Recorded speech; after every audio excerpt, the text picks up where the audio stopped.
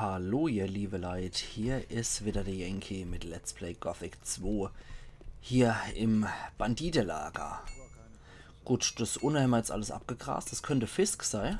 Jupp, das Hey, wenn du hier im Lager einen anständigen Händler suchst, dann hast du ihn gerade gefunden. Genau, das Meine war er ja auch im alten Lager. Esteban. Also, wenn du was brauchst, komm vorbei. Ja, Warte mach ich.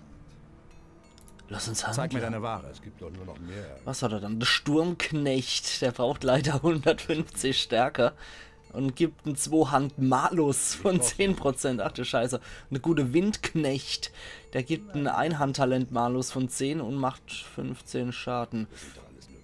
Ja, ziemlicher Scheiß, du der Windknecht. Okay. Gehen. Feldknöterich, Feldrübe, super. Immer wieder das Gleiche. Ring der Erzhaut, Feldknöterich. Das will doch keiner wissen. Das will doch keiner wissen.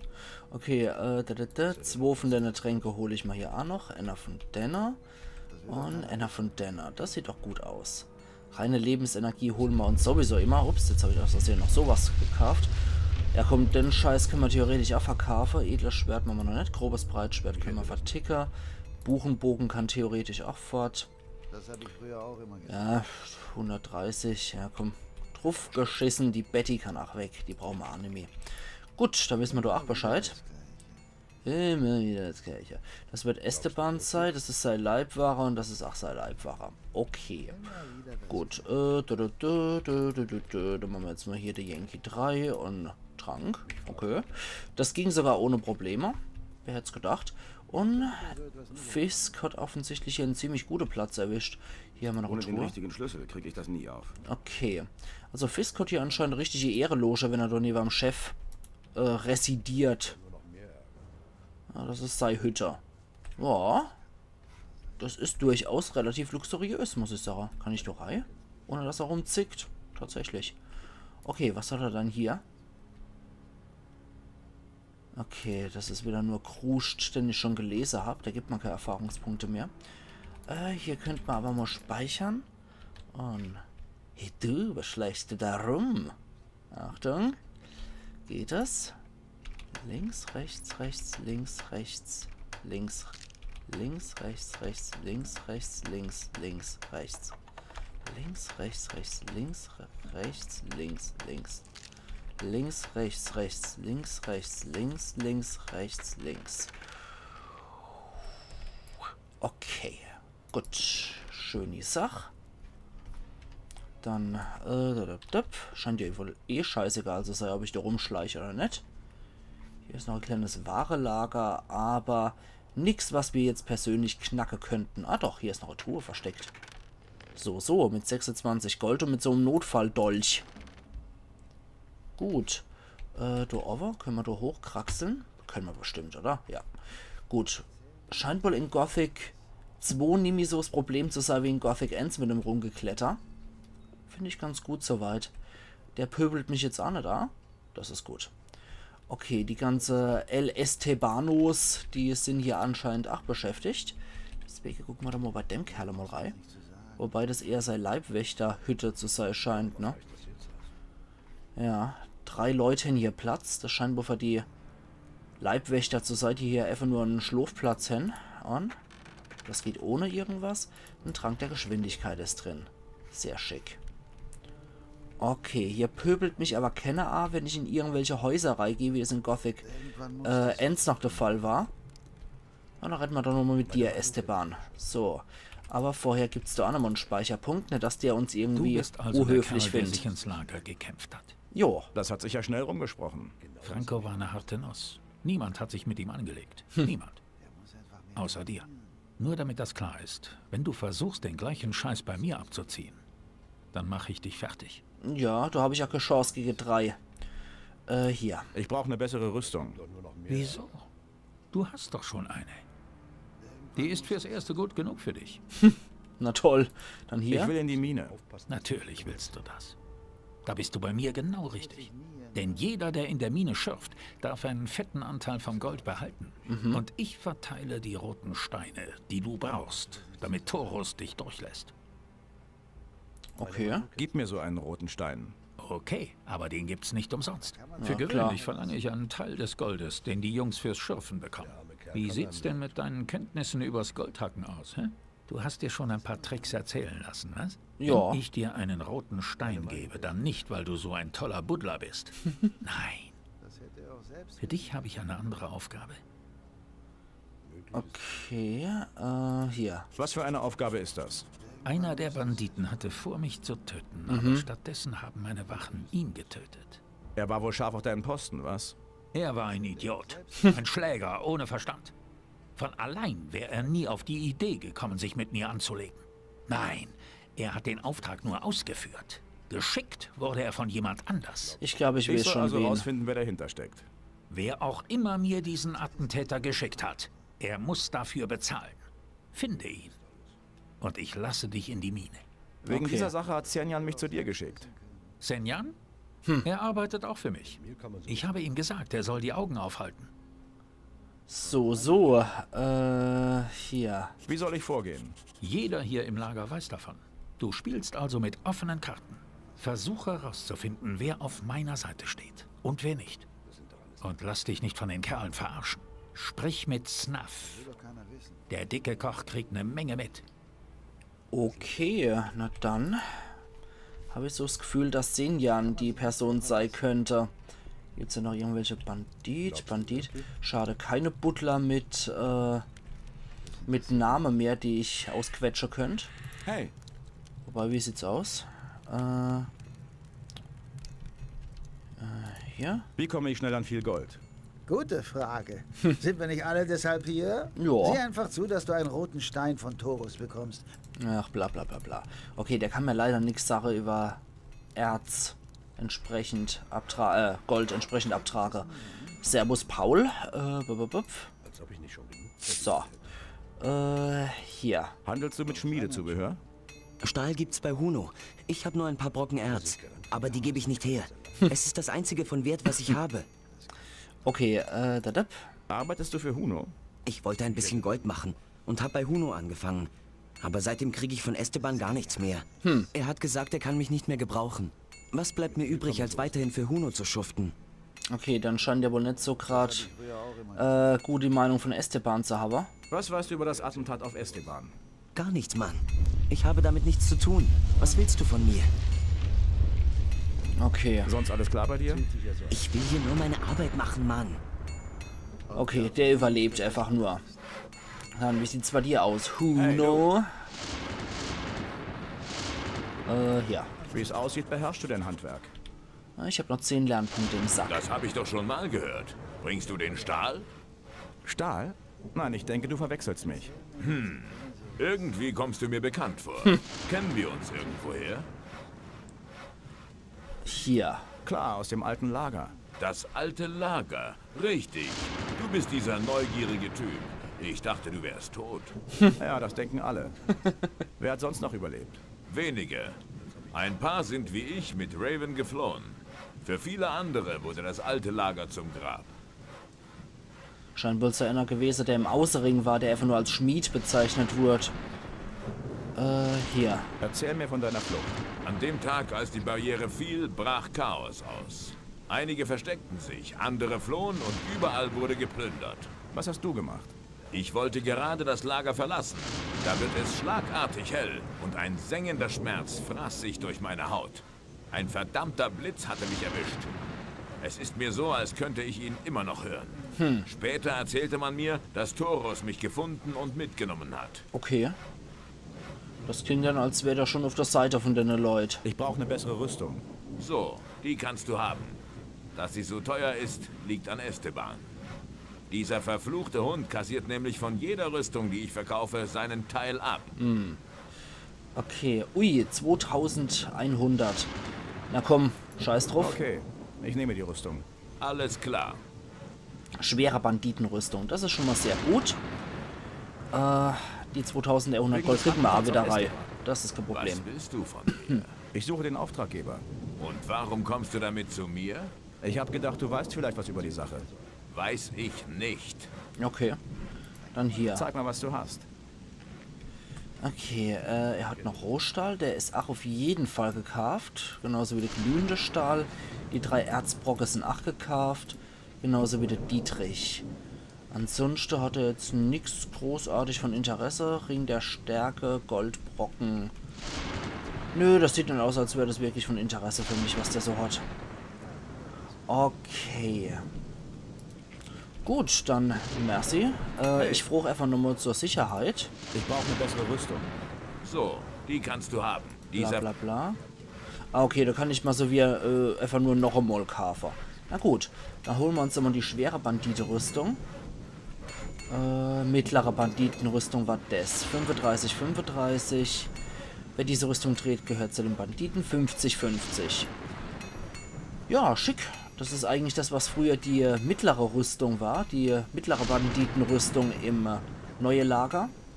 Und der Stoff war nicht Jute-Sackfarben, sondern der war natürlich blau gefärbt. Sodele. Dann haben wir, das ist richtig zappeduscht da hier wieder. Dann machen wir hier nochmal einen Speicherpunkt. Nehmen wir einfach mal rein. Okay, die Lost. Hier ist nichts. Ah, doch, da ist was. Da ist eine Truhe. Und fünf Gold sind drin. Was haben wir hier noch? So als Schattengestalt hier. Ah, hier ist noch auf voll ausgerüstet die Schmiede. Das ist da perfekt. Eine Spruchrolle. Und äh, ja. Das ist Schmiede, die hier auf mich wartet, so wie es aussieht. So. Können wir doch gleich mal ein bisschen was schmieden, oder? So. Wobei, am liebsten hätte ich eigentlich noch ein paar Rezepte, damit ich noch ein paar gescheite Klinge schmiede könnte. Aber da muss ich anscheinend warten, bis ich wieder zurück in Korines bin, um mal mit Harad eine Runde schwätz. Geschicklichkeitstrank sollte ich dennoch lernen. Von Riordian und von Konstantino der Stärketrank. Wäre schon recht wichtig. Und für andere Deluxe-Sache kann ich dann äh, Schmiede, wie gesagt, nochmal lernen, wenn ich einfach mal ein bisschen was übrig habe. Aber an Stärkepunkte kommt man hier jetzt ziemlich schwierig dran. Mit 5 Stärke brauche ich 2 Lernpunkte. Äh, ja, 5 Stärke für 10 Lernpunkte, so rum. So, Skinner ist mittlerweile verschwunden. Okay. Äh, wo ist dann der gute Senjan? Ich glaube, der dürfte da drin sein jetzt. Ah ne, da steht er immer noch rum. So, wenn ich sehe ich gerade. Okay, dann retten wir mal mit Snuff. Ja. Was weißt du über dieses Attentat? Die Sache mit Esteban? Du weißt doch, wie das läuft. Der Wirt kriegt alles mit, aber er greift nie Partei für eine Seite. Gerade mal einen Schluck Wasser genommen. Äh, so. Hier. Sag mir wenigstens, zu wem ich gehen kann. Oh Mann, das kommt doch auf selber raus. Vergiss das. Hier? Wenn du an meiner Stelle wärst, was würdest du tun? Ich würde mir überlegen, was ich über den Auftraggeber weiß. Erstens, es war wahrscheinlich einer der Banditen. Das heißt, er ist hier im Lager. Zweitens, dass er hier im Lager ist, heißt, er beobachtet dich. Drittens, wenn er der Meinung ist, dass du auf Estebans Seite stehst, wird er sich dir nie zu erkennen geben. Die interessante Frage ist also, wie stehen deine Chancen, den Auftraggeber zu finden? Okay. Äh. So. Was halten die Leute hier von Esteban? Da musst du schon etwas genauer werden. Jede Information kostet dich eine Kleinigkeit. Wie viel? Zehn Goldstücke. Na gut. Ähm. Da habe ich ein bisschen den hier in Verdacht. Was ist mit Fisk? Fisk ist Fisk. Er bezahlt seinen Teil an Esteban und verteilt die Waren, die er größtenteils von den Piraten bekommt. Ich denke, Esteban ist ihm ziemlich egal. Okay. Dann hier. Was ist mit Senjan? Senjan ist einer von Estebans Jungs. Er arbeitet schon eine ganze Weile für ihn. Äh, wie sieht's dann mit dem äh, Huno aus? Was denkt Huno über Esteban? Ah, Huno. Über den weiß ich so gut wie nichts. Diese Information ist natürlich gratis. Okay, das ist nett. Dann, äh, hier. Emilio, was denkt er über Esteban? Ich denke, er würde nicht gerade Blumen an Estebans Grab bringen, wenn du verstehst, was ich meine. Okay. Äh, dann vor man die andere noch. Was denkt Lena über Esteban? So wie ich das beurteilen kann, denkt Lena gar nicht. Na gut, dann äh, hier. Was ist mit Finn? Ein guter Butler. Er hat eine Nase fürs Gold. Esteban bevorzugt ihn deswegen. Ich denke, er steht ganz gut mit ihm. Ja, höchstwahrscheinlich dann. Und ihr? Was ist mit Paul? Ich glaube, er mag Esteban nicht besonders. Seit er für Huno arbeitet, kommt er nicht mehr in die Mine. Ja, das haben wir auch schon so mitkriegt. Okay, äh, hier. Was hältst du von Esteban? Wer über ihn redet, ist schnell tot. Okay. Wie stehen meine Chancen, den Auftraggeber zu finden? Bis jetzt ist noch alles offen. Danke. Hey, ich habe dir nichts erzählt, was du nicht schon längst wusstest, klar? Das stimmt allerdings, ja. Okay, aber zu jeder Bandite-Rüstung gehört anscheinend hier so schicki Männerhandtasche, die man noch dazu liefert. Gut, gut, gut, gut. Da kann man wenigstens irgendwie nur verziehen, wo der Typ sein Inventar dann hat. Okay, dann probieren wir jetzt nochmal aus, äh, den Loose Hammer zu brennen. Jawohl. Trank hergestellt. Okay. Die dumm, die dumm, die dumm. Wo ist er dann? Heilung von Besessenheit. Genau, das war der Scheiß. Dum, die dumm, die dumm. Ist es denn hier irgendwo dabei? Loose Hammer, genau. Wirkung. Dann speichern wir hier doch gerade noch einmal. Gucken wir Loose Doppelhammer. Ja. Zu wenig Rohstoffe. Okay. Na gut. Aber Loose Hammer dürfte genügen. So. Mein lieber Hey. Freund, ich habe hier was für dich. Ja. Ich habe den Schnaps gebrannt. Ausgezeichnet. Dann mache ich das mal fertig.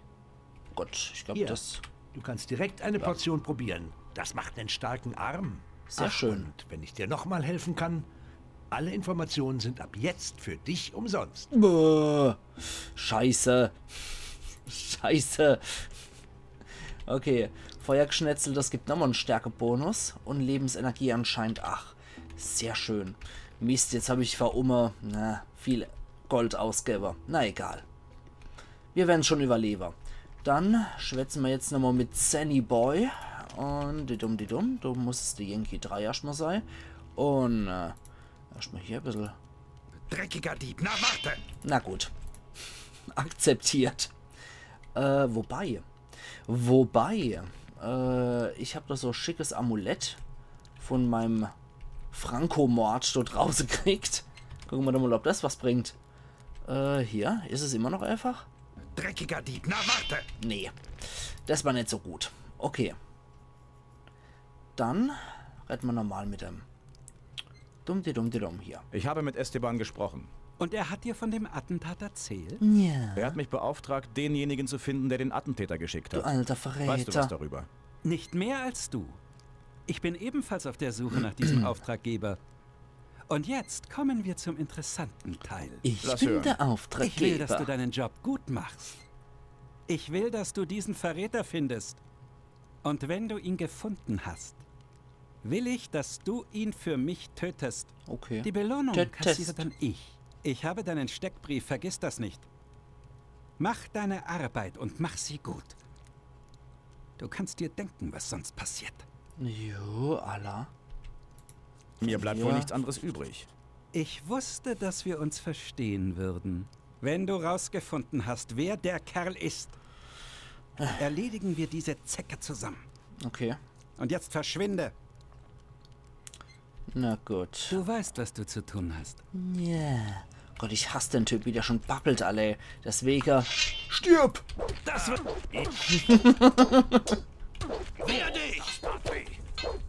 Ich will einfach mal wissen, was dann Du passiert. hast zehn Jahren umgelegt. Hast du damit ein Problem? Nein, Mann, damit habe ich kein Problem. Ganz im Gegenteil. Der Mistkerl hat für Esteban gearbeitet.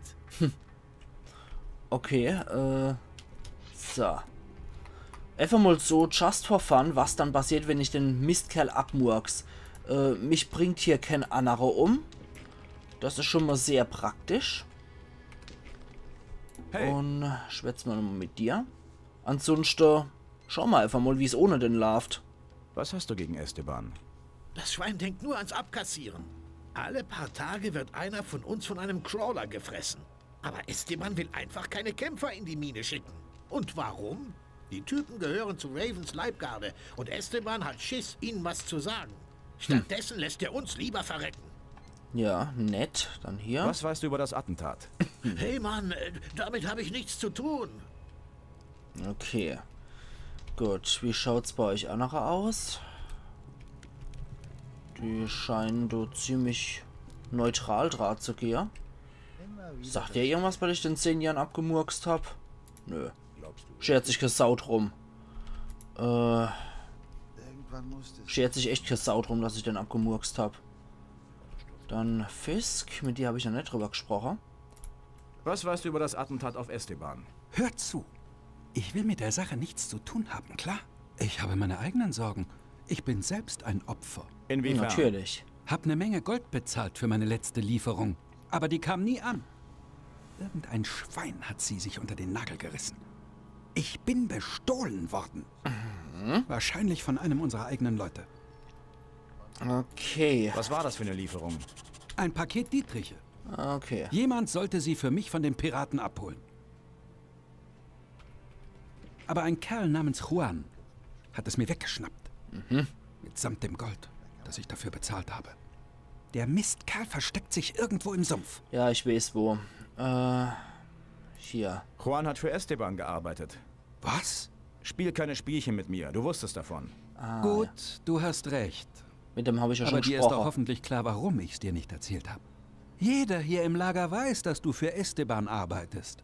Ich habe keine Lust, in die Sache mit reingezogen zu werden, nur weil du scharf auf einen roten Stein bist. So. Ich arbeite nicht wirklich für Esteban. So? Du willst den alten Sack übers Ohr hauen? Dann gebe ich dir einen guten Rat. Behalt es für dich. Wenn es um Esteban geht, solltest du niemandem trauen. Nicht mal mir, klar? Und jetzt genug davon.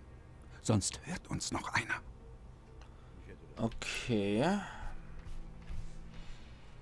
Hm. Bisher sieht das nicht so gut aus. Zehn Jahren habe ich ja schon gekillt. Der hat doch nichts mehr zur Sache gehabt, der Typ.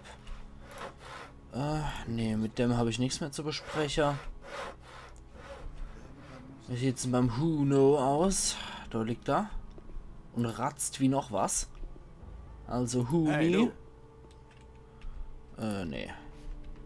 Meine Fresse ist das Dusch da. Äh, da, da, da, da, da, da, da, da.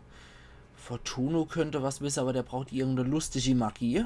Äh, haben wir irgendeine lustige Magie für den Parat? Gerade mal gucken, was haben wir dann? Großer Feuerball, vergessen. Das wird sehr kontraproduktiv sein, vergessen auf ihn zu wirken. Schlaf. Nö, sieht nicht aus, als hätten wir irgendeinen Gedankenzauber parat. Dann sollten wir noch mit deiner zwei Bursche hier schwätzen. Hier. Wegen des Attentats auf Esteban. Ja, Hast Ja, du eine ja. Ahnung, wer dahinter steckt? klar. ich werd's dir sagen. Bestimmt steckt dieser Emilio dahinter. Er ist immer wie ein Bescheuerter in die Mine gerannt. Er hat geschürft, was das Zeug hält. Aber seit das Attentat passiert ist, sitzt er auf seiner Bank und rührt sich nicht mehr weg. Ist ja klar. Um in die Mine zu kommen, muss er sich von Esteban den roten Stein abholen. Ich wette, er traut sich nicht mehr, ihm in die Augen zu sehen. Weil dieses klar. Mann, die Synchro ist teilweise so genial bei Was Gothic. könnte Emilio von Estebans Tod haben? Was weiß ich? Vielleicht hat er einen Kumpel in der Mine, der dann Estebans Platz einnehmen würde. Ja, das würde Sinn machen. Ja, der scheint wohl nicht so der Klügste zu sein. Dann, wie sieht's denn bei dir aus? Äh, Wegen des Attentats auf Esteban.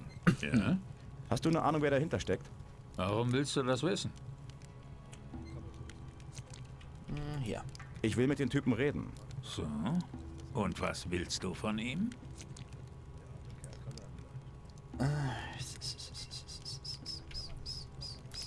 Ich habe interessante Informationen für ihn. Du steckst doch nicht etwa mit dem Auftraggeber unter einer Decke, was? Auf keinen Fall. Gut. Ich werde dir sagen, was ich weiß. Aha. Als das Attentat passierte, wollte ich mir von Huno, dem Schmied, meine Spitzhacke abholen.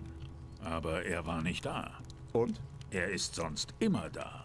Sehr verdächtig, wenn du mich fragst.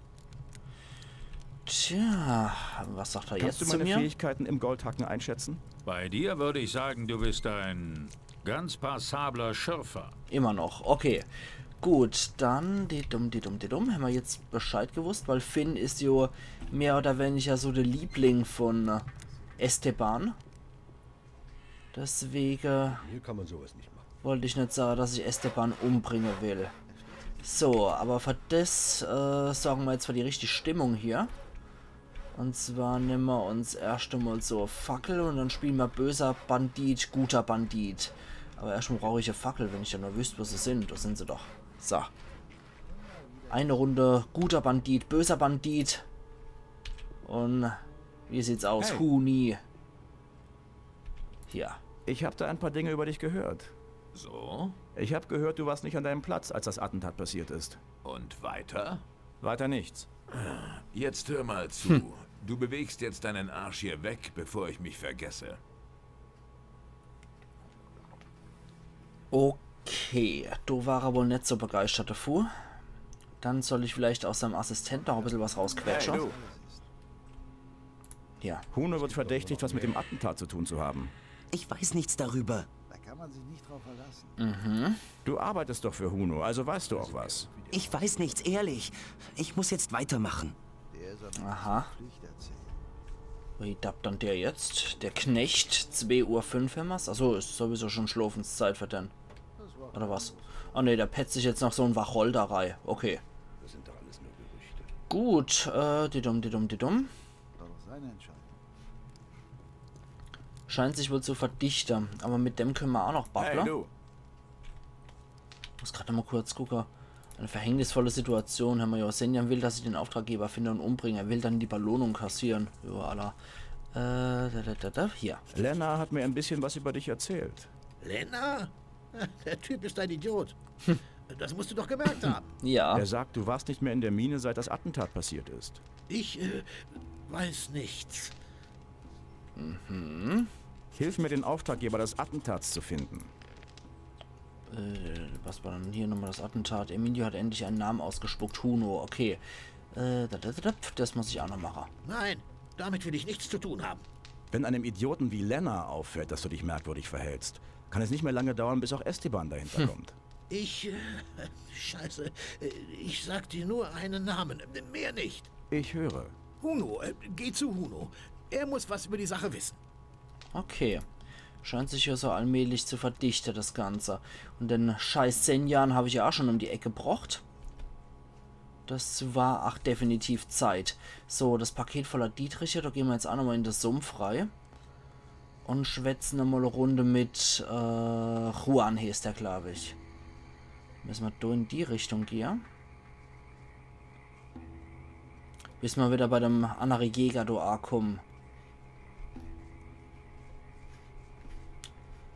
ankommen. Scheiß da ins Kanonenrohr. Hier ist wieder total. Total duscht. Da sehe doch gar nichts mehr. Aber Sumpfkraut muss ich Eis sammeln. Das könnte ich vielleicht nochmal gebrauchen. Was so Gedöns zu Brauer. So Loose Hammer. Ah ja, da ist der.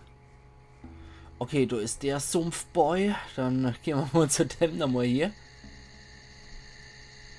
Eieieiei, also so Nachtaktionen, sind echt eklig mittlerweile. Logan, äh, didum, didum, didum, da war dann die Höhle, wo dann der Juan drin war. Dann sollten wir mit dem nochmal schwätzen. Äh, nee, doch nicht. Tom. Äh, okay, nicht Juan. Wer war dann Juan? Verdammt nochmal. Ich, ich hab gedacht, das wäre der Tom gewesen jetzt, dass das der Juan eigentlich wäre, aber... Oh je, äh, Logan war der hier? Er versteckt sich irgendwo im Sumpf. Hm. Aber ich glaube, das macht wenig Sinn, jetzt hier im Stock Dusterer da rumzulatschen. Hat man da nicht irgend so einer? Miguel war der äh, Schmiedetyp. Äh, nicht Schmiedetyp, der Alchemistentyp. Juan, Juan, Juan. Den habe ich da irgendwo auch hier draußen schon mal gesehen, verdammt nochmal. Ich weiß noch nicht mehr wo. Moment, reden wir jetzt immer mit denen Leute. Die haben ja viele spanische Namen hier von deiner ganzen Type. Dum, dum, dum, dum. Nee, das war ein Sancho. Alter, dass die alle spanische Namen haben müssen, das ist schon etwas verwirrend. Äh, dann gucken wir doch mal in der Richtung vom Sumpf. Da waren wir nämlich bisher noch nicht. Kann auch sein, dass da noch irgendwo so ein Typ steckt. Weil in der anderen Hälfte, wo der Logan war, äh, da hatten wir ja schon geguckt. Carlos, yes, das lauter spanische Bandite hier. Lauter Bandidos. So, äh, Butlerfleisch können wir mal... Oh, Heilkraut nehme ich natürlich gern mit. Dann müssen wir hier irgendwo im Sumpf nochmal gucken. Irgendwo muss es ja sein. Ah, hier höre ich ein paar Goblins. Wack, wack, wack. Ah, das sind noch ein paar Jungs. Bandit. Edgar. Ja. Äh, der Kinderspielerich. Hoch. Igitt. Wie läuft's? Du willst wissen, wie es läuft? Ich sag dir, wie es läuft. Zuerst haben mich irgendwelche Piraten in stürmischer Nacht hergebracht.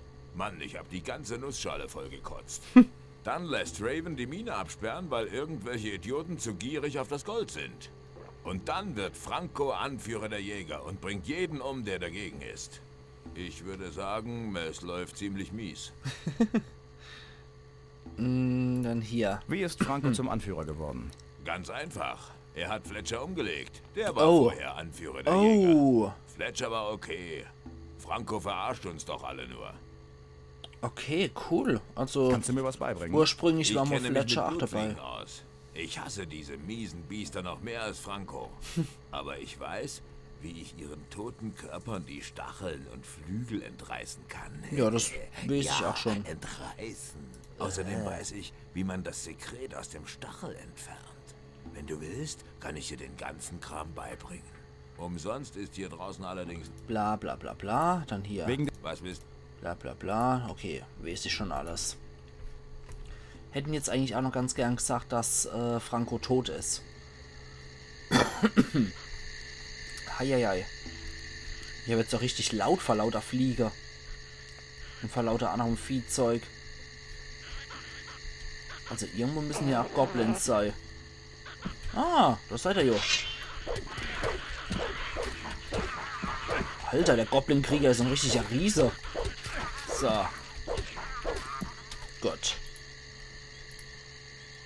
Hm. Kennen jetzt so viel dabei. Ah, hier sind Sumpfeier. Ach, ich höre sie schon. Ah, hier ist noch eine Truhe. Links, links, links, rechts, rechts. ah, das Viehzeugs ist ja ganz schön laut, muss ich sagen. Okay, Feuerwurzel. Ich mag erst mal gucken, wo ich gerade bin, überhaupt hier im Sumpf. Ah, okay, in dem Bereich vom Sumpf war ich tatsächlich noch nicht. Na gut, da würde ich aber auch sagen, ihr liebe Leute. Ich mache hier meinen Cut und wir sehen uns dann morgen wieder zur Let's Play Gothic 2 auf Pelzig. Also machen's gut und bis morgen dann wieder. Ayan Yankee.